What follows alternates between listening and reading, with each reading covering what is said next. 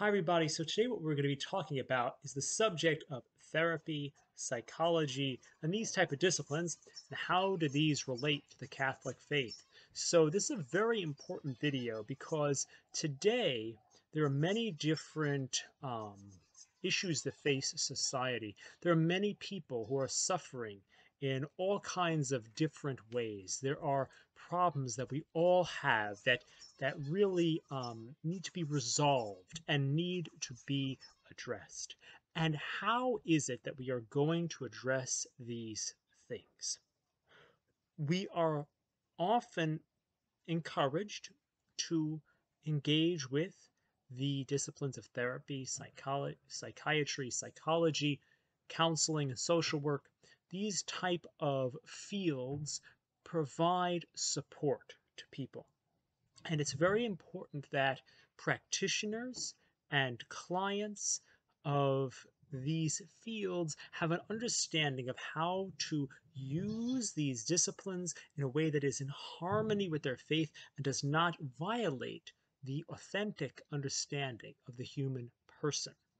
It's most important at the outset of this video to realize that the entire point of making a video about the use of the mental health disciplines for Catholics is not simply to say, okay, how can people of a certain religious group engage with a otherwise perfectly fine discipline? It's instead a way of talking about how can a can a tradition which holds an authentic understanding of the human person be brought to bear on a tradition of helping that may have some certain kinds of wisdom and expertise, but has in, often incomplete understandings of the human person. And so there is something that Catholicism can learn from therapy, but there's a lot that, that therapy can learn from Catholicism. And the thing is that without the understanding of the human person from the Catholic faith, therapy cannot become all that it can be.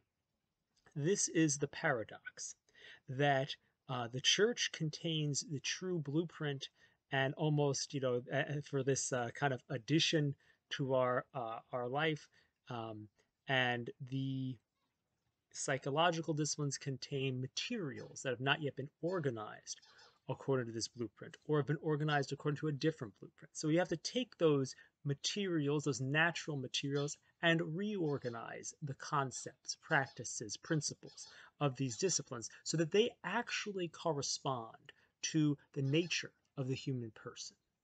And so it is an assumption of this video and this approach and this understanding that it is not merely Catholicism is not merely the religion of a group of people, but is the nature of the universe, which is the nat- is the nature of the created order. It's the nature of the human person. It's it's the understanding of truth. And so, of course, we must bring truth to bear on all incomplete truth and redeem those things and expand our understandings through this. And just in case this seems like a strange thought of doing this. This is the pattern itself of the incarnation. It's also the pattern of Scripture. One thing I learned recently was that there is evidence that the Ark of the Covenant even resembles um, the structure of objects that would be carried in Egyptian worship, which lends credence to the fact that the Israelites were in fact in Egypt, and that the plan of the Ark of the Covenant speaks differently about the nature of God, doesn't have an idol on top, it has these cherubim on top that are just kind of, you know, not not necessarily not being worshipped. So it's a different um it's a different setup of a cultural form that already existed.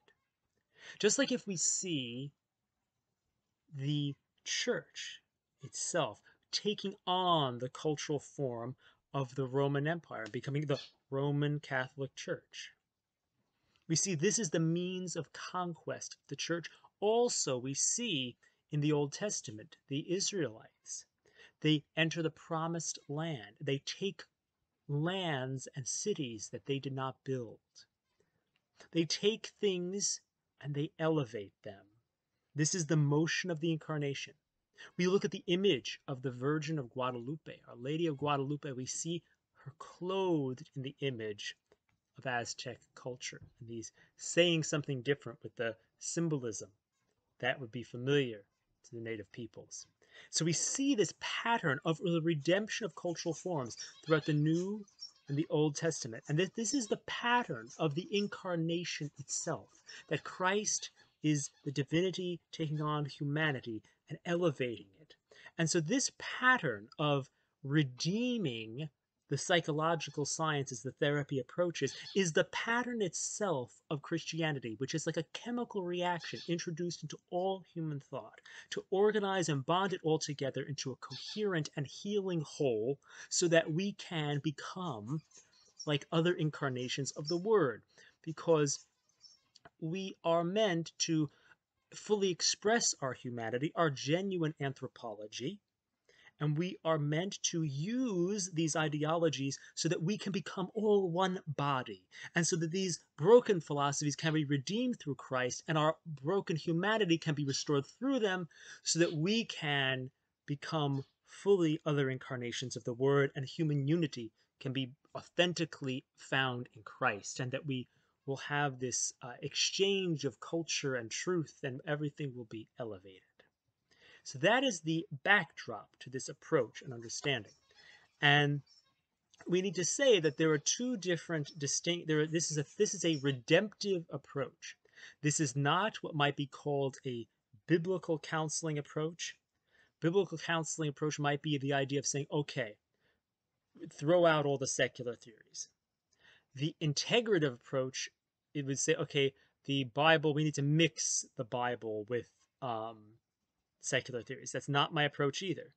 My approach is that, or, the way I understand this, is that all secular theories are wrong. No one may, no one, that I do not believe it is okay for a Catholic to, to use or teach or espouse or counsel or therapize people with established any established theory. They are all in themselves incorrect about what the human person is. So not only are they not healthy, they are heretical, essentially. So they are not true and they are not good in themselves, although there, there are elements that are redeemable within them, some of which are reflections of, are, are very powerful reflections of true principles, and therefore um, can be very um, helpful. And so they can be very powerfully redeemed and can show us things that we might not otherwise think. So, what is it about these approaches? Why would we need these things? What would it do? Well, or, why would there be some type of goodness in them? Well, I think it's the same type of principle we could think about if somebody were to be blind. And if somebody was to be was to go blind, they would develop their sense other senses very well. Like my uncle uh, Charlie, pray for his soul. Um, Lord Jesus Christ, have mercy on us. Um, and he was blind, and he got really good at maybe hearing things, and you know, um, these type of things like that.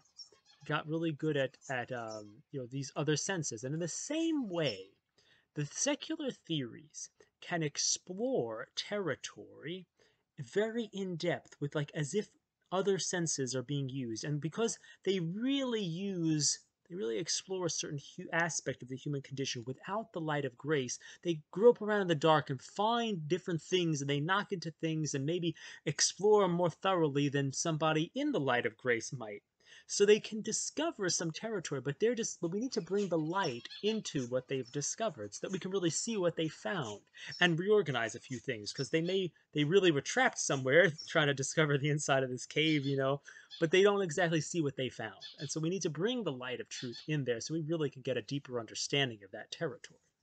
Um, and then it's usable. And it's usable because in a way just like the person it's as if what will happen is that when we apply these heightened senses that were developed under this thing of being blind, so to speak, but we take them and we integrate them into a sighted person, we become even more what we were meant to be originally. We become our human nature becomes more like the human nature of Christ, which is perfect. And we, we and we, and when it's and when we use these theories in light of grace, we can use them in a way that helps elevate ourselves so that we can really understand how to live and our human nature can be healed and elevated and we can better bear the light of grace with a stronger human nature. Our human nature, we can become more like Christ's human nature, and then the divinity of Christ can better be born inside of us. And so these things are very deeply important to our healing and the healing and the reconciliation of all ideologies and the reconciliation of parts of ourselves. Now, it's very important to remember, too, that there are things that are deeply wrong with us. And I think it's good at the outset of this video, which explains how somebody should engage with the mental health disciplines to simply state uh, some things about how the mind is and some of the problems there are. Essentially, all the approaches of the world to therapy, philosophy, and religion, which are essentially the same thing if we really think about it, they all are about how do we manage our lower passions with our higher capacities. They're all different approaches to what we might call brain control or self regulation. These are all different types of approaches that use different types of things. I actually don't think that there's any categorical difference between the ideas of therapy, philosophy, and religion. Because I think that in, in essence, what we might say practically about therapy is that the only reason why therapy is separated from religion is because religion is not understood well in society. Religion and th- so theology and philosophy are meant to organize the content of all the lower sciences, but that's not how things are done in a society that is not actively Catholic. But this is just an accident of history. That, that, that would be the actual um, real way things should be. So it's not that there should be some discipline separate from religion, that is therapy, because religion is the truth. And the thing is that things are just in rebellion against truth, not that there should really be something outside of truth. So to, so to say that there should be this kind of secular therapy, I mean, of course, we need to meet people where they are. We can't shove religion down everybody's throats when they're not ready for it.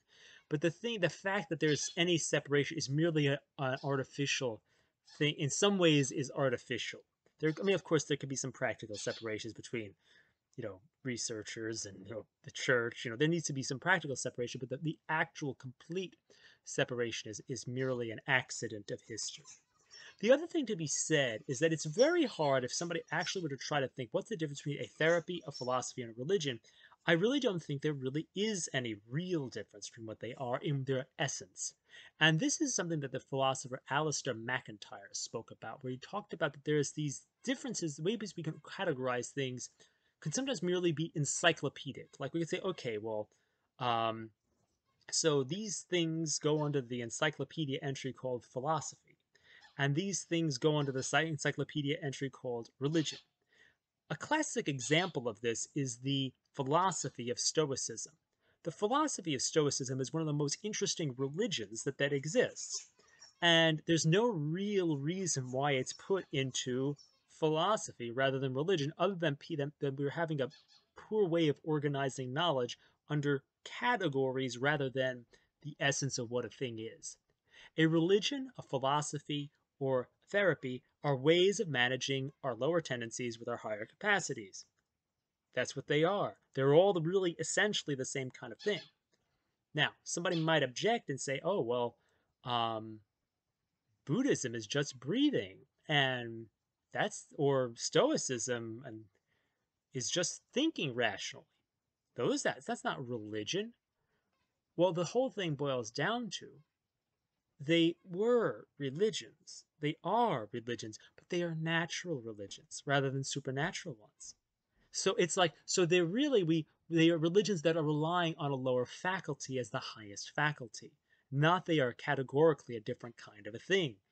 So these are some some things that I just want to present. This is there's a lot of information coming out in this video. But I just want to organize these things because we need to understand the relation between these fields. The better way to talk about the relation between philosophy, religion, and therapy is to understand that theology has to organize philosophy, which has to organize lower sciences. That doesn't, and they, these are, this is all under a Catholic understanding. And the thing is that we have to understand that we have to subalternate, as um, as one theorist talked about, to subalternate these disciplines to the higher disciplines. And the thing is that, you know, we can say that okay, well, yes, Buddhism is not using necessarily some, of course, many forms of Buddhism are somewhat ritualistic and have these other spiritual elements. But we could say, okay, breathing is not it seems to not be a religion. Well, it is if we understand that to be the highest faculty, and the liberation of self comes through awareness. And we, if we understand the use of these things, we understand that these are simply religions that are using a different faculty as its central feature, not a different kind of a thing. And so we also come to this simple understanding is is there really a division between therapy and religion? And as it is practiced now, I will make the bold claim that there is no difference between therapy and religion, and the current practice of therapy is the practice of religion and the imposition of religion upon clients unknowingly. Religion is a constant feature of normal therapy. Religion is promoted to clients all the time. As long as these religions are not recognized encyclopedically as religions by Westerners. So therefore, yoga, which is a Hindu discipline of a Hindu religion, is widely used in Western therapy because as a religion of consciousness and body, it is not understood or noticed as religion, meaning belief system that you only think about on one day in traditional Western thinking in modern times. Like, like, oh, I go to this building on this day, I think this thing that doesn't impact my life. That's maybe the caricature of what religion is for Westerners. So, discipline with the body and the mind and this is not onto the grid of the Westerner thinking about religion, but is often the con- often the content of therapy. So the Eastern religions are widely, and their philosophical premises are widely used by therapists in mainstream therapy, even by therapists who have a somewhat of a bent toward Christianity. This, these things are often promoted. I do not promote yoga. I don't think it's a good thing to do. I do think you can stretch and breathe. I think you could stretch and breathe at the same time, but not in the yoga poses. I think you could stretch, breathe, and pray at the same time. That's great. Not in the yoga poses. That's its own video. Um, but the thing to remember here is that the, the use already of these things constitutes religion. And for example, if we even want to go further, we can understand that the cognitive therapies, which seem to be the mainstream flagship therapies for the last who knows how many years, the evidence-based treatments have have had at least in one of its major schools of thought. So there's CBT and then there's REBT. REBT has had overtly religious statements made. So, for example, even messianic statements um, that it would save the world. When you look at these early videos of Albert Ellis, they talk about how rational thinking can change the world, how it is against this absolutistic. Um, they were use the word Jehovian thinking. Um, they use this this word of thinking that uh, uh Albert Ellis talks about promoting the gospel according to St. Albert, referring to himself, you know, that, that this gospel of rationality, which is going to change the world and lead people out of their narrow religious and moral views. So it's going to liberate us from these things. So it had, so the thing is, there's no escaping the religious, messianic, and these tendencies which are deeply rooted in the human person that even in trying to free humanity from religion we must take on this religious impulse that so there there's this um, there's a way in which all these things when they are already done they already have religious implications they already have religious implications to them is and then if we go further there are religious implications in the use of the 12 steps in the mainstream recovery industry to have a higher power and a moral inventory to make amends for wrongs and to meditate on to take time to meditate and pray, these are already spiritual actions. So, as we can see, the field of religion and the field of therapy, as practiced today, are one field.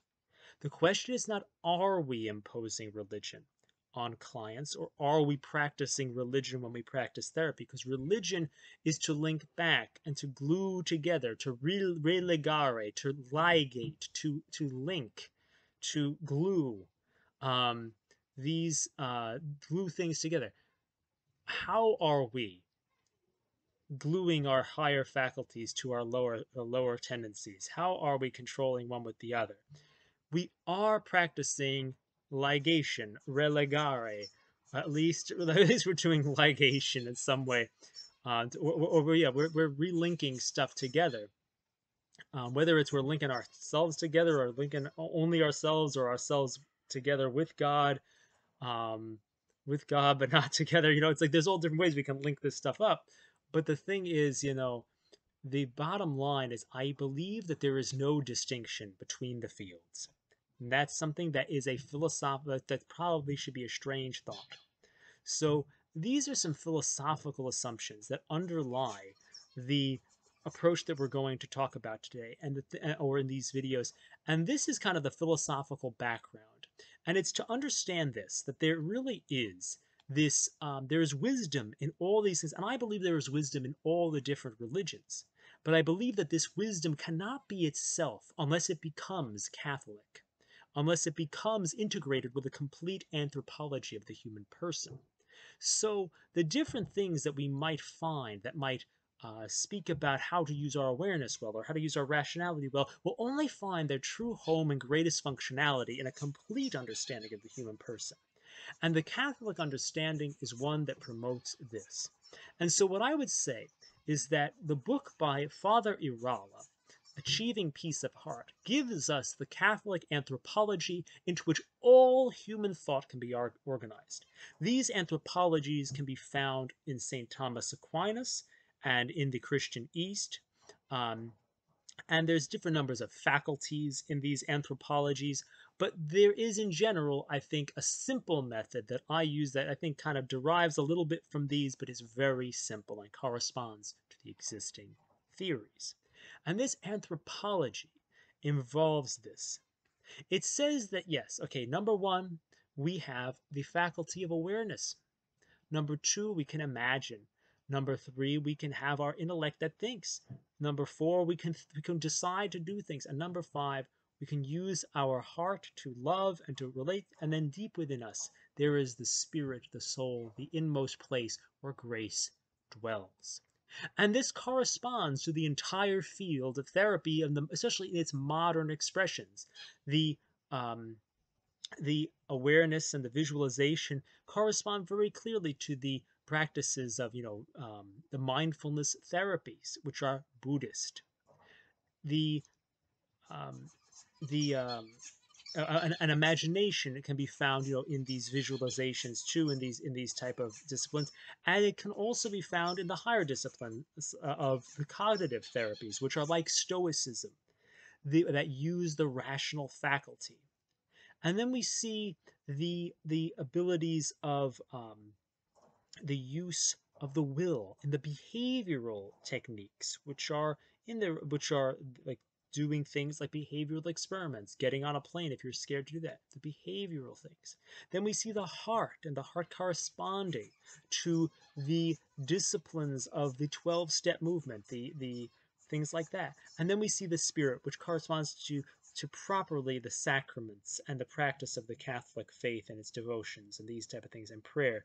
And so the this is the uh, the way we can understand how all these things integrate and how we can use these lower things in light of the higher things and redeem it into one way of elevating ourselves to be have a strengthened humanity to better bear the light of divinity to be um, other incarnations of the Word and to share in the Immaculate Conception of Mary, to be like the Immaculate Conception, to progress resemblance toward the Immaculate Conception and it toward the incarnate word. And this is the purpose of therapy, of religion, is to make ourselves, through the redemption of culture, to make ourselves into other incarnations of the Word and to bring us all together into one human family.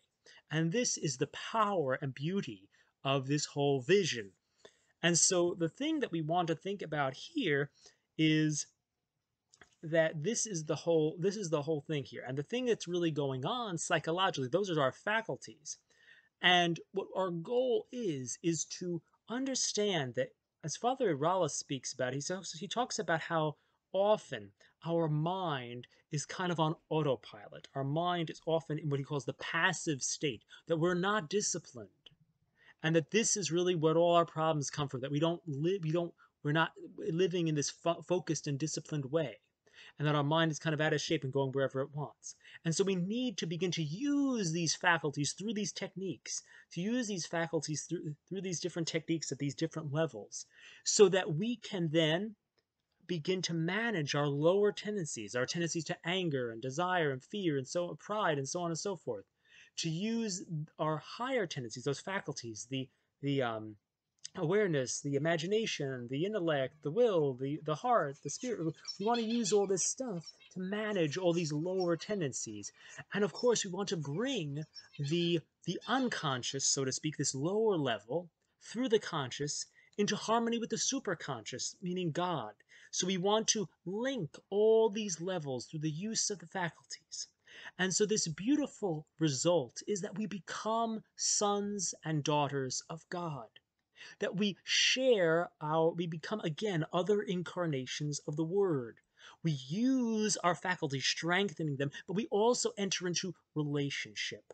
Because what we do, so for example, if I'm upset, I tell God about my anger. So my conscious brings my unconscious into the superconscious, and the superconscious hears me and helps me to be healed. And so um, it's not about suppressing our anger. It's about moderation and integration of all that is which is lower so that we can become in, union with the higher. So it's like the, it's the moderation and integration of these things. Um, and this is what's so important because the, moder- the, the moderation and integration of ourselves happens alongside the moderation and integration of cultures and therapeutic forms. These are two sides. We we we do the same thing. We we take okay what's usable out of cognitive therapy, and we'll go into that in our next video. We'll go into these specific therapies. We take what's usable out of it, and then we use that in order to change ourselves so that we can take what's usable out of ourselves and elevate it. So the evangelization and the enculturation of the gospel, the elevation of cultural forms and ideologies is one wing of the bird, so to speak. And the other side is the moderation and integration of ourselves. And these things work together to help us transform ourselves and societies into the family of God and to be and that we become and this is the beautiful thing that God's love is fatherly love and mercy. So this is the nature of mercy. There's something redeemable. There's something fatherly. There's something that, that needs to change, but it is loved and taken up into something greater. Fatherly love says, okay, I love you and you need to grow up. You know, and so this is the thing that needs to happen into both to our the forms that we will use in order to help ourselves grow and that will be used like that in the relationship interiorly as we elevate the lower things in ourselves. So if I'm angry, I need to call out to God and, and use that, just like David in the Psalms. Just like this is so important to think about it this way that David in the Psalms, he cries out to God. He says, God, like I'm, I'm, I'm suffering. This is happening. That's happening. All these different things are going on in my life. And then he says, But you're great, God. You know, I love you and you're wonderful. And thank you that you're going to deliver me. He's taking his unconscious, the suffering, you through the conscious, realizes who God is, and then kind of speaks that back to the unconscious. So it's like there's this union of the of, of through, through the conscious of the unconscious and the superconscious. And so these are ways of speaking about these processes of, growth and transformation, ways of making simple the things that we are trying to do and achieve in human growth. And so this is the overarching uh, ideas. And so what we need to understand is, is, is the, some of these principles so that we can begin to kind of have a general conception of what this means for our human growth. So we know how as practitioners and consumers, how we can use the disciplines of therapy, psychiatry, psychology in light of our Catholic faith, in light of the incarnate Word, so that we may become other incarnations of the Word through His grace and mercy.